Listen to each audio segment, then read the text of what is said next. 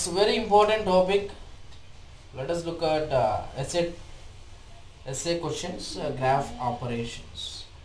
So graph operations is uh, like traversing method in trees similar to that. Okay. So here having two traversing methods uh, in a graph.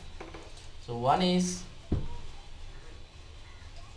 breadth first search breadth first search in short form called as BFS these are lab programs.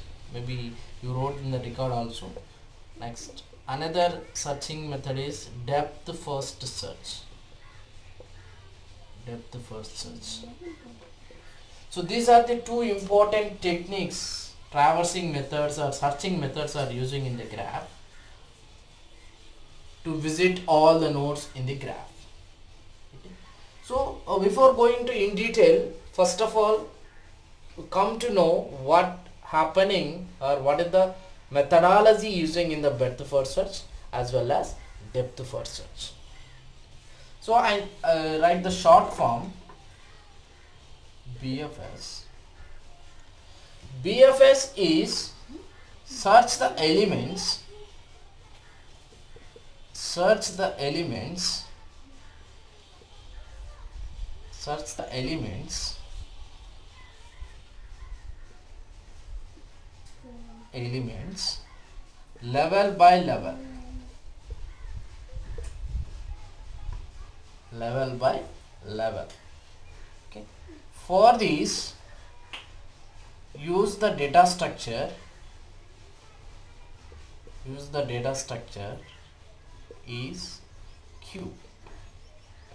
Very important point. Use the data structure is queue next third point third important point. If you visit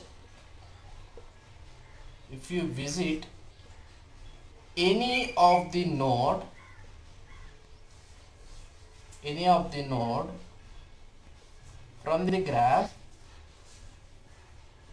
from the graph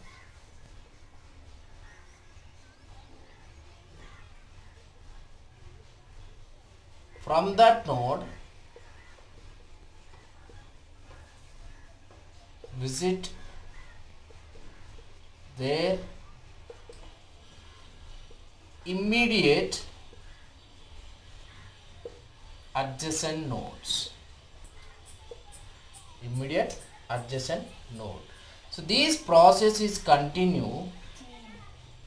These processes continue until to visit to visit all nodes at once.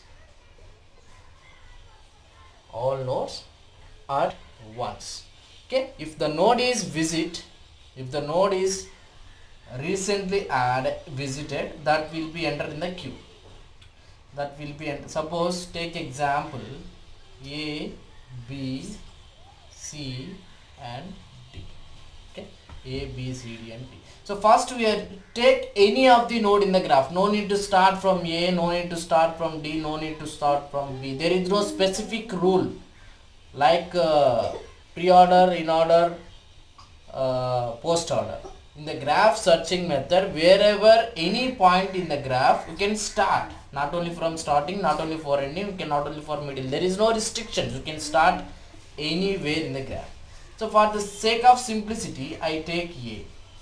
If i visit a first write what are the adjacents of adjacents of b comma but that is the point. If you visit any one of the node from the graph from that node visit their immediate adjacent nodes. Immediate in the sense what are the direct connected nodes in the graph? Those adjacent vertices will be inserted. If all the if those adjacent vertex will be inserted then apply the dequeue operation. That means deleting the uh, root of these two adjacent vertex. Next this process is continue until until all the nodes visits once and finally finally queue must be empty queue must be empty. So next we can visit b. So a is already visited. A is already visited. These are the adjacent nodes of we are enter. So one once we enter these two adjacents a will be removed from the queue. Okay because of already visited successfully and their related connections also entered.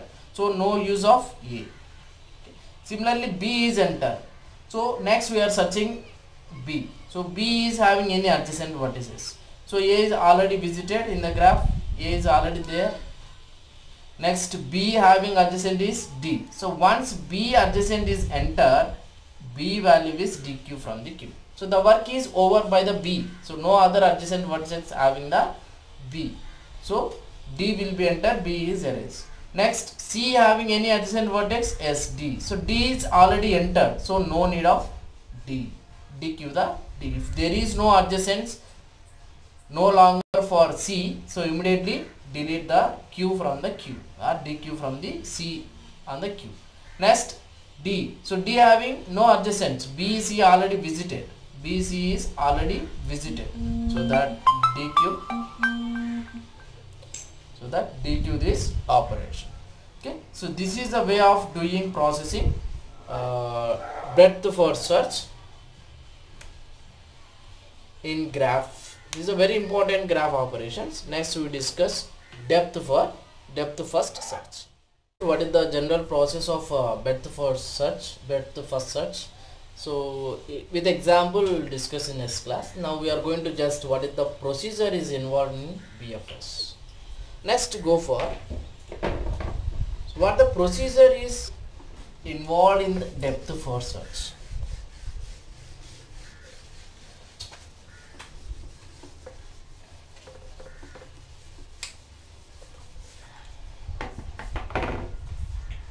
depth for search using uh, here also using the data structure. Here also using the data structure is stack. Okay. here using the data structure stack. And uh, it can store the vertices temporarily until the visit of their adjacent is completed. So that means you can use the stack to push to push the visited node visited vertex into stack into stack until until until the all until all adjacent vertices are visited in the graph. Okay. So here using on the data structure is stack here also to start the searching process from any position in the graph. There is no restrictions. You can add starting ending whatever it may be. Okay. So once you can visit once we can visit the node then push into the stack. Push into the stack. Visited vertex into stack until all adjacent vertex are visited into the graph. Until all adjacent vertex are visited into the stack. So let us take uh, example for it. A same example. B c d like this so we will take uh, uh, another example which is already given to the material. Based upon that example we'll discuss in detail. So before that we know idea we know the clarity what is the procedure. Okay? So i compare both the same time bfs and dfs what happened. In bfs a is visited a is for suppose just example. A is visited first first what are the adjacent nodes of a immediately visited? Immediate visited of adjacent nodes. But in case of dfs that is a depth first search only one node one adjacent node will be entered. One adjacent node will be entered. Here using which data structure? A b c once a adjacent node is entered removing the b. Sorry removing the a from the queue next in dfs using stack. Dfs using stack. A visited and b visited.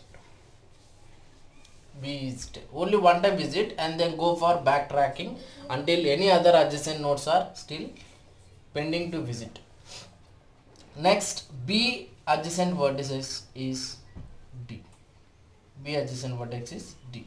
So then d will be stored at the top of. Next d adjacent vertices is b already visited then adjacent vertex is c. So c will be stored in the top of the stack. So who are visited at once they are still in the stack. Next if you, any further adjacent having those nodes if any further adjacent only one time we are visit we are not taking all adjacent nodes at a time like bfs dfs only one way to reach all adjacent nodes. If any missing adjacent nodes we are again go for backtracking until to reach starting node. C c any having adjacent nodes? No. So then c will be removed from the stack. Okay. Then go for d. Okay. so D having any new adjacent nodes? So D having B and C. B and C, C is already visited. C is already visited and B is already uh, still in the already visited and it is enter into the stack also. So then D also removed. Next go to B. Any new adjacent vertex having B uh, except C except A, D. Okay. No adjacent vertex. So still remove next go for a a having any other adjacent vertex no adjacent vertex here also finally stack should be empty. Here bc visited then b adjacent is b adjacent is d d. If b adjacent is entered b is removed. This is done simultaneously. This is after visiting again going back to the root node.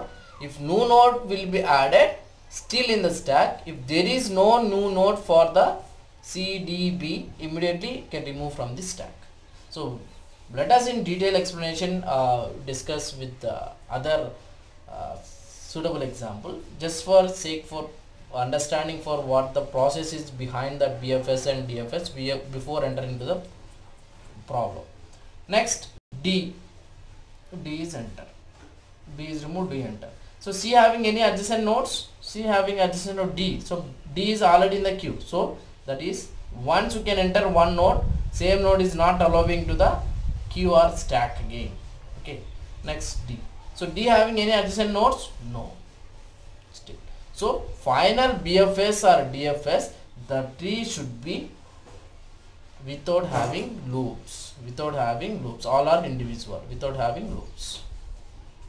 Okay. So these two problems methods discuss next class with the suitable examples. Is a very very important question guaranteed 10 marks question for the forthcoming external examination point of view. Okay thank you